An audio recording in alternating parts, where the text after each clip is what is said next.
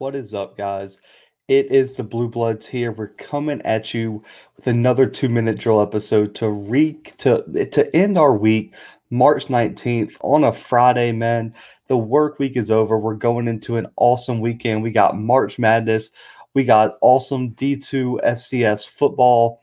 As always, man, I'm excited to watch that Jackson State team play. We'll have that recap coming Monday, as always, guys. But right now, we got some big news, you know, in terms of HBCU football that really made, I guess, big headlines today. And, you know, it was a huge announcement from the Black College Football Hall of Fame today as they created or put into put a plan into place to have an HBCU legacy game, which is going to serve as a showcase for the top draft eligible players from HBCU universities and this is a huge announcement, guys, an absolutely huge announcement because it gives these players a platform to further their careers, puts them on a national stage for NFL scouts, staffs, media, everything. It puts them on center stage. You get things like the Senior Bowl, guys. I, I get that. The Senior Bowl, one of the great events. I mean, it's in my hometown of Mobile, Alabama, but I don't think enough of these players from the HBCUs get invited. I, th- I believe this year only about three players from the HBCUs were invited to the Senior Bowl, and they they showed out. A lot of them, you know, all three of them, I think, really improved their draft stock. And we're, we're talking now. This game's going to invite almost a hundred players. They said it's going to be roughly around a hundred so that creates so many more opportunities and chances for a lot of these players who might be overlooked in terms of NFL scouts or something like that to really put themselves on the map for an NFL team. And personally, I think we could see higher round picks coming out of these HBCU schools in terms of first, second round talent because there's a lot of them that get drafted in the later rounds that were just overlooked because of the level of exposure, the level of perceived competition. And so I think this game is going to go a long way in establishing that. And so the co founder of the Hall of Fame, Doug Williams, that name might sound familiar to y'all. Williams is probably one of the greatest HBCU players of all time. He was a first round pick for the Tampa Bay Buccaneers was a Super Bowl champion, a Super Bowl MVP for the Wash for, for the now the Washington football team. And he announced that the game is going to be held February 12th, guys, at the Tulane facilities.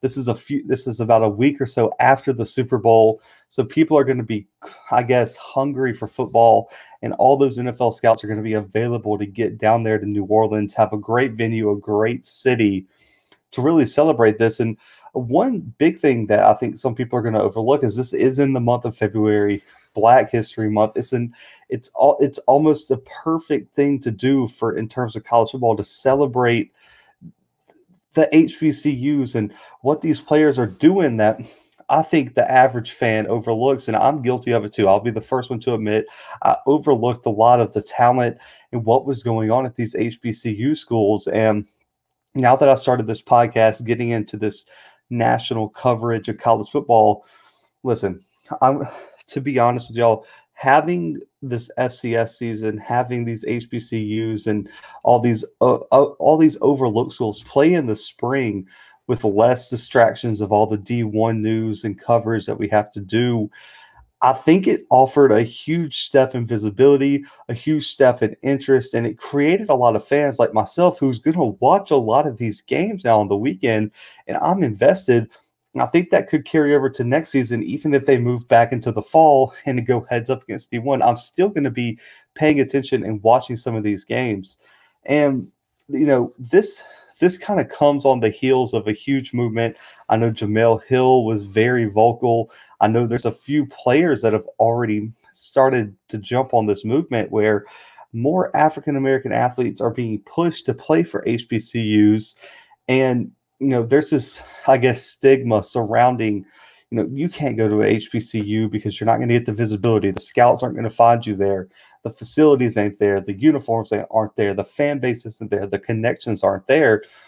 And this is going to be a huge step in terms of quieting that debate about visibility and opportunities because now you're going to have a huge one in February, especially if you're, you know, I, I think, you know, the players who have a realistic shot at the NFL are going to be at this game.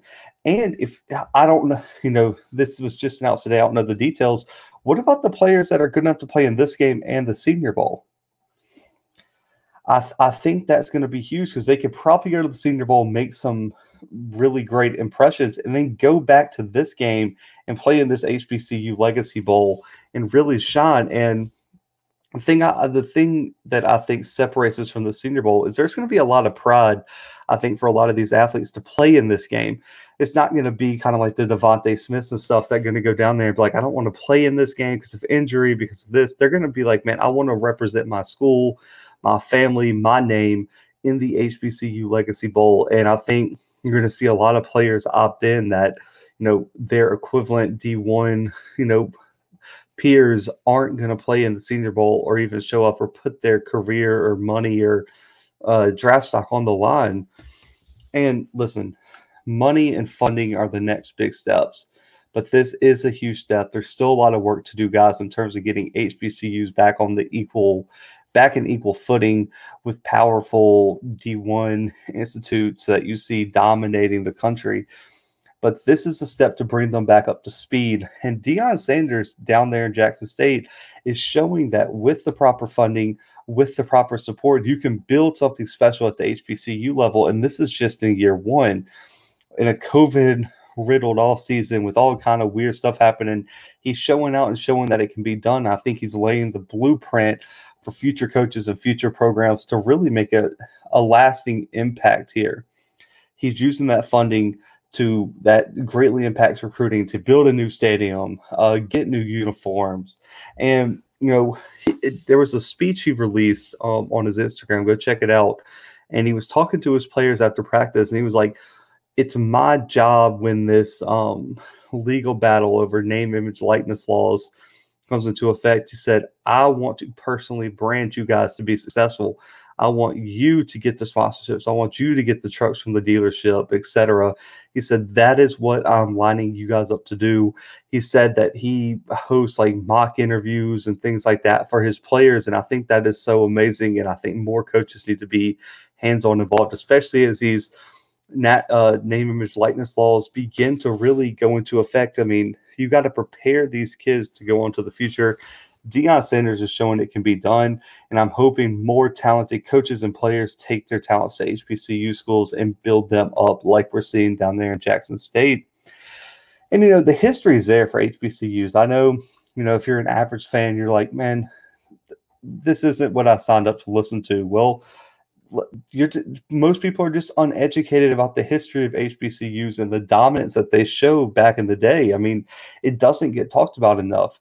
Luckily, in the ESPN College Ball 150 thing they did a year back, they had a really great show and segments and things highlighting, you know, the dominance of HBCUs, the talent that was coming out, the coaching excellence that was there, the fan support, the sellouts, all that kind of stuff. And I don't think it gets talked about enough. And I mean, listen, uh, we, we've been gaining a lot of subscribers recently, man. Shout out to y'all. I'm going to talk a little about that, a little about that at the end. But if y'all want to hear, you know, me to start like a short series about HBCUs, I mean, we can talk about individual universities, players, moments, things like that. It's like an educational series that I'll start on the YouTube channel. Comment down below and let me know, or find hit me up on Twitter, Instagram, Facebook. Hit hit our hit the Blue Bloods DMs, hit my DMs, um, or comment down below on these videos that you want to see that, and I'll put that on for y'all. I'll do some. I'll do my research as well, and we'll we'll release like one or two of those a week and kind of cover the history of HBCU. So more people who you know might not be as educated about the history there can be educated. And I mean, let's look at some of the players that dominate the history of HBCUs. I mean, Jerry Rice, Deacon Jones, Walter Payton, Steve McNair, Shannon Sharpe, the GOAT, in my opinion, and Michael Strahan. All these guys come from H- HBCUs and they make major impacts in the NFL and are Hall of Famers or on their way to be Hall of Famers. Listen, as I said, a lot of progress has been made, guys. but we have so much further to go. And this is only going to help increase the visibility of HBCU athletes, programs, and coaches. And hopefully, it will help HBCU sell their vision to the best recruits in the country. And we can get a wide, wider range of parity across college football and have HBCUs competing for national titles, competing in the spotlight of college football, which I think is better for everybody. And I'm really, really excited to see where this goes. But this was a huge first step. Shout out to the Black College Football Hall of Fame. Shout out to Doug Williams and everyone else who had a fighting hand in this. And I really want to see who are going to be the coaches in the game. Are you going to get the best HBCU coaches? Are you going to get NFL staffs like the Senior Bowl has come down there and coach? I want to see more details come out about that, but I will update y'all when they make those announcements. But for right now, the HBCU, HBCU Legacy Bowl coming at you February 2022. I'm pumped. You should be pumped too. And it's going to be one you aren't going to want to miss. But guys, that is a wrap for this two minute drill, a wrap on our two minute drills throughout the week. And I just wanted to say, I appreciate y'all supporting us, man. We have been gaining supports, gaining followers. I mean, at an astronomical rate, guys. Our YouTube channel is growing so exponentially. So make sure if you love these two minute drill episodes to be interactive in the comments, man. Let me know y'all's opinion. We can discuss them on each episode. And also make sure to subscribe if you are a listener. You think about subscribing. I Already said once we get to 100, we're dropping some exclusive merch and we're going to pick a random 10 people in that first 100 to give free merch to. So make sure you subscribe, turn on your post notifications. That way you're notified anytime we drop a two minute drill, a Blue Bloods episode, or any sort of content on this YouTube channel.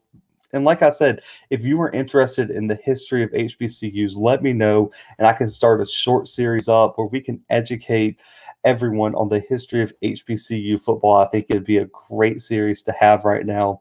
And I think a lot of people are going to benefit from it.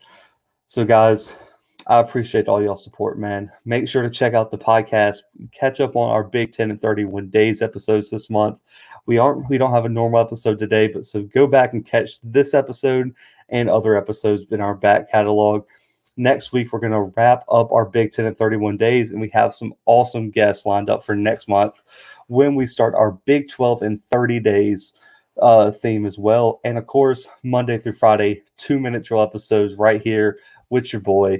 And so, guys, I appreciate y'all. But for myself, the Blue Bloods, and the two minute drill, we are out.